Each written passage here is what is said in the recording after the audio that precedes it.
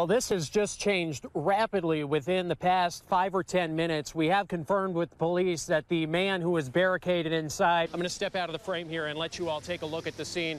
Right now, this garage that you see in this house here on University Avenue, that's sort of the nexus of this investigation. Still very much an active scene. We have not been given too much information from fire and police officials right now, but what we do right know right now is basically what we can see here. This house here on the 7800 block of Stratton Way is gone. This drive-through line is stretched pretty deep here at the Culver's on Cottage Grove Road.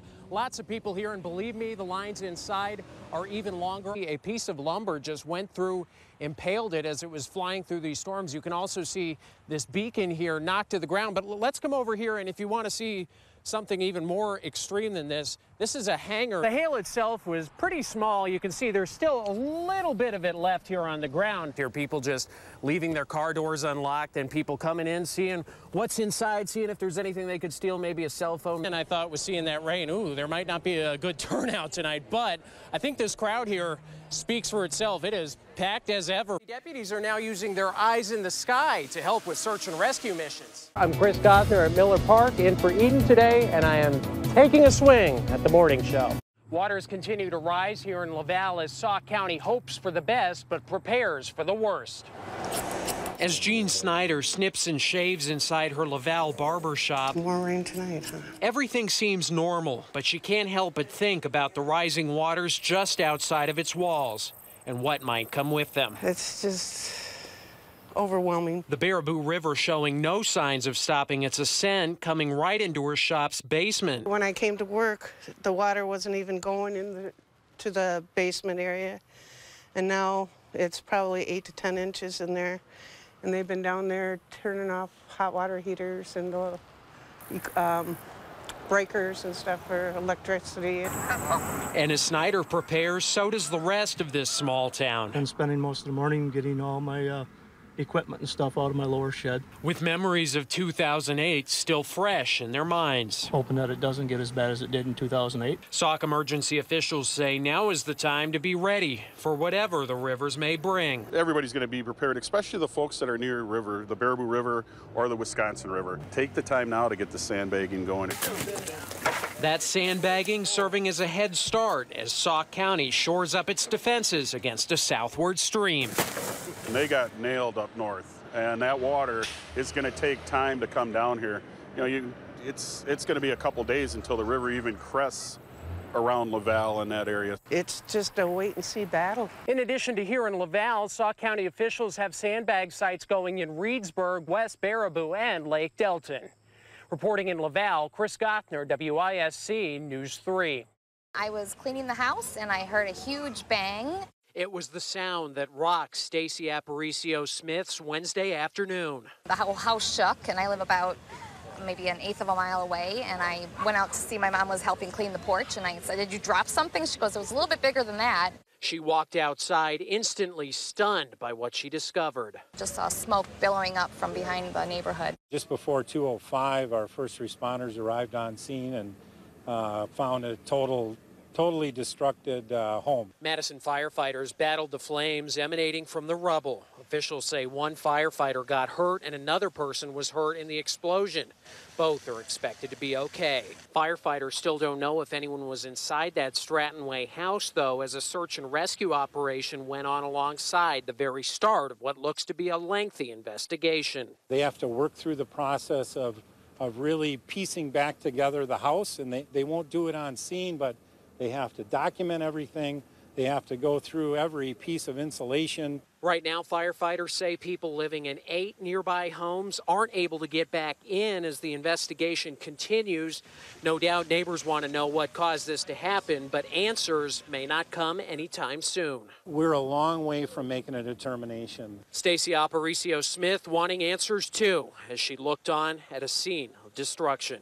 This is so sad. This is just awful. In a city that celebrates its Nordic heritage, where even the high school sports teams are known as the Vikings, Dave Moschel of Stoughton found out the hard way that being a fan of the other Vikings 5 0, man. isn't always easy in Wisconsin. Here I'm slicing this guy up and come outside and, hey, what are you doing? Confront the guy, and he takes this razor knife or whatever he had in his hand, and uh, we just go on the ground and start wrestling around. Police arrested a 21 year old man they say vandalized Moschel's Viking inflatable and stabbed him seven times following that confrontation. He probably thought it was funny, and maybe his buddies thought it would be cool to come slice it up. That man faces tentative charges of reckless endangerment and criminal damage to property. I, I hope this kid gets what's coming to him. Today, Moschel says he's doing a lot better and says he's lucky to be alive, and so is the man who stabbed him. Luckily, uh, I didn't have my concealed carry on me at the time. So I, normally nine, 99% of the time I leave house, I never leave without it. And this is the one time I'm dead. I, I kind of glad I did because that kid would have been dead, and I'd had to live with that. And the father of six says nothing or no one will keep him from showing pride in his favorite team. This is this is gonna get a little piece of uh, Vikings duct tape put on there, and it's gonna be blown up every day of the week from now on. I'm still here, still living, still watching football. Tell me the address of the emergency. It's the first question you're asked on the call you never want to have to make. And that hasn't changed much over the years. But two decades ago, when dispatchers answered a 911 call, it likely came from a good old fashioned landline. But in 2017, cell phone calls are about 75 to 80 percent of our calls now. In a lot of ways, Dane County 911 operations manager Paul Logan says that's allowed dispatchers to get people help faster. You were lucky to get one call on a major crash. Today, you have a crash at Odana Road and Whitney Way you know, and it's halfway serious, we're going to get a dozen calls within minutes. But there's one way cell phones haven't caught up.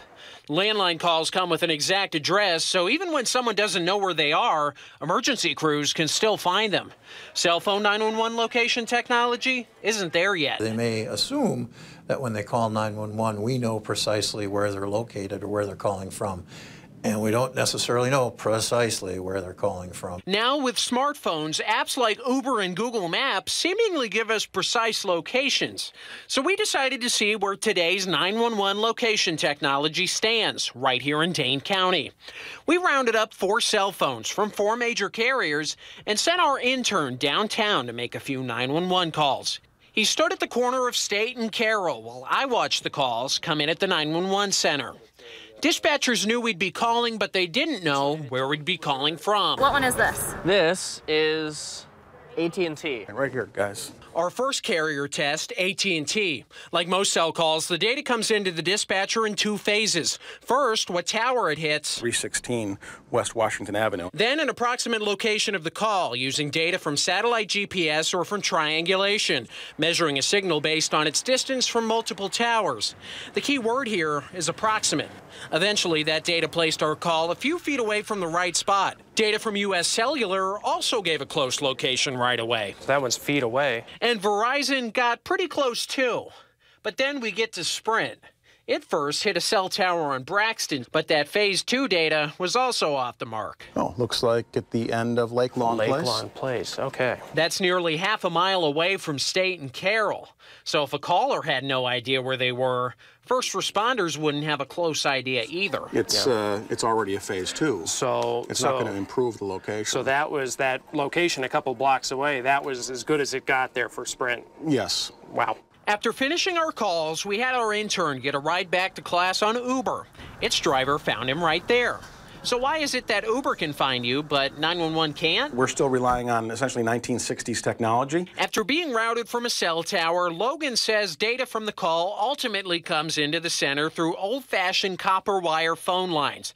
The center considers that technology bulletproof. It rarely fails but it doesn't allow for dispatchers to get the kind of rich data that they'd like to. Apps like Uber, on the other hand. The phone apps uh, primarily are relying on uh, the public internet. The problem with that is, unlike the tried and true wired system, the internet is much more prone to things like data outages. So if you were to call uh, uh an Uber car, you may or may not get through. It's not public safety mission critical reliable. Ultimately, Director John Dejung says federal 911 guidelines in the coming years will incorporate broadband data to augment what it already receives from cell carriers. The takeaway from all this, dispatchers say, is when you need to dial 911, still the most important thing to know and to tell the dispatcher is where you are, because your cell phone might not. I've always said don't bet your life on the technology. Now, we reached out to Sprint and Uber. If you'd like to see each company's responses to our story, you can visit fox47.com. Also, on our website, you'll learn why Dane County 911 officials say Wisconsin's 911 system is lagging behind other states.